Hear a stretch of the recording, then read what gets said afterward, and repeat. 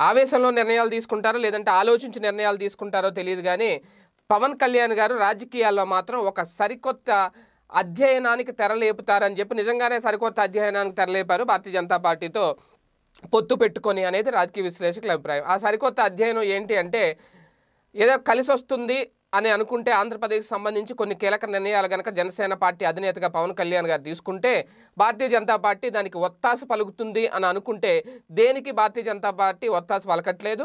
భారతీయ Janata party నిర్ణయాలకు అనుగుణంగానే భారతీయ Janata party నడవమని చెప్పిన రూట్లోనే నడవాలి పవన్ కళ్యాణ్ గారు అనే దిశగా భారతీయ జనతా పార్టీ నిర్ణయాలు ఉన్నాయి ఇది అవునన్నా కాదన్నా రాజకీయ సత్యం. అయితే ఇక్కడ పవన్ కళ్యాణ్ గారు ఇప్పుడు ఈ టైంలో తీసుకున్న మరో నిర్ణయం ఏంటంటే అమరావతి రాజధానికి సంబంధించి అక్కడ రైతులు చేస్తున్న యాజిటేషన్ ఏదైతే ఉందో అక్కడికి మరోసారి వెళ్ళడం.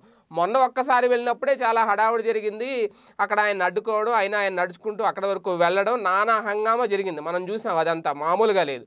సో పోని వెళ్ళారు కలిశారు వచ్చారు. తర్వాత జరిగింది ఏంటి? ఒక హామీ ఇచ్చారు. సమస్య లేదు రాజధాని తరలించే వీ- వీలు లేదు. అమరావతిలోనే రాజధాని ఉంటుంది ఉండేలా చేస్తాం ఉండేలా చేస్తాం కాదు ఉంటుంది అని చెప్పి చాలా గట్టిగా చెప్పారు. సో అందరూ ఓకే ఇంత గట్టిగా చెప్తున్నారు కదా భారతీయ జనతా పార్టీతో పొత్తు పెట్టుకున్నారు కదా పొత్తు పెట్టుకునే ముందు ఏమైనా డీల్ మాట్లాడుకున్నారేమో బీజేపీ తోటి అని అందరూ అనుకున్నారు సంబరపడ్డారు.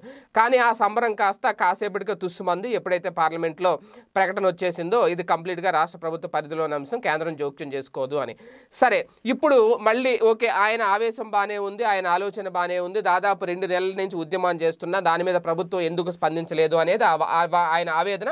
అదే టైంలో అక్కడ రైతుల ఆవేదనను మరొకసారి ఆయనకు ప్రజలకు వినిపించే ప్రయత్నంలో భాగంగా వెళ్తున్నారు. దానికి అప్రిషి అప్రిషియేట్ చేయాలి. అది తప్పు పట్టడానికి ఏం లేదు. ఒక రాజకీయ నాయకుడిగా కాకపోయినా వ్యక్తిగతంగా మంచి ఉన్నతమైన భావాలు కలిగిన ఒక ఆలోచన విధానం ఉన్న ఒక మంచి వ్యక్తిగా మంచి నటుడిగా ఆయన అక్కడ వెళ్తున్నారు కాబట్టి తప్పే లేదు అసలు.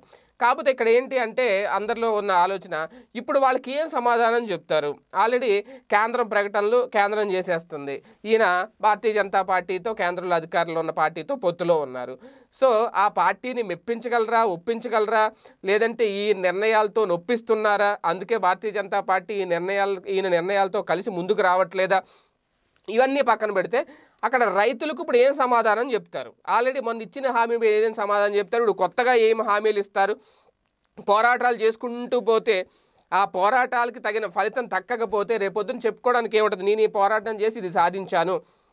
నేను ఈ పోరాటం చేసి ఇది సాధించానని చెప్పుకోకుండా పోరాటాలన్నీ గాల్లోనే ఉండిపోతే రాజకీయ నాయకుడిగా ఆయనకి మాత్రం ఏమి ఆత్మసంతృప్తి ఉంటుంది? ఏనికి ఆయనకు మాత్రం ఏం సాటిస్ఫాక్షన్ ఉంటుంది అనే దాని మీదే ఇప్పుడు రాజకీయ విశ్లేషకులు ఒక కొత్త అంశాన్ని తెర మీద తీసుకొచ్చారనమాట అంటే కేంద్రంపై ఒత్తిడి తీసుకురావడం అనేది కరెక్టే. కేంద్రం మీద ఒత్తిడి తీసుకొచ్చే విధంగా రాజధాని రైతులకు తరలింపును అడ్డుకుంటారనే ప్రచారం జరుగుతుంది.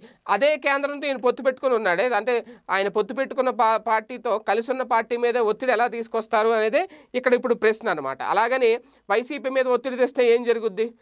వైసీపీని వీళ్ళు ఒత్తిడి తెచ్చి అడ్డుకునేది జరగదనేది చాలా క్లియర్గా అర్థమవుతుంది. ప్రభుత్వం తీసుకున్న ప్రభుత్వ నిర్ణయాలతో ముందుకు వెళ్తుంది. ఇలాంటి టైంలో మళ్ళీ పవన్ కళ్యాణ్ గారు అక్కడికి వెళ్ళి ఏం సమాధానం చెప్తారు? రైతులకు అండగా నిలబడి పోరాటం చేయడం వరకు ఓకే. కేంద్రం నుంచి కానీ పొత్తులో ఉన్న భారతీయ జనతా పార్టీ నుంచి కానీ ఎలాంటి సానుకూల ప్రకటన రప్పిస్తారు అనేది వాళ్ళు గనక ప్రశ్నిస్తే పవన్ కళ్యాణ్ గారి దగ్గర సమాధానం ఏముంటుంది అనేది ఇప్పుడు ఆసక్తికర అంశం. చూద్దాం. పదో తారీఖున వెళ్తారంటే ఏం జరుగుద్దాం.